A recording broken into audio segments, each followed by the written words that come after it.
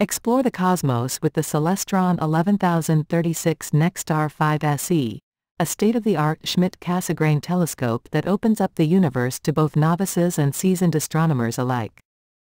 This sophisticated black and orange instrument features a fully automated go-to mount that swiftly aligns itself to your desired celestial bodies, ensuring that even the most distant galaxies are just a few button clicks away.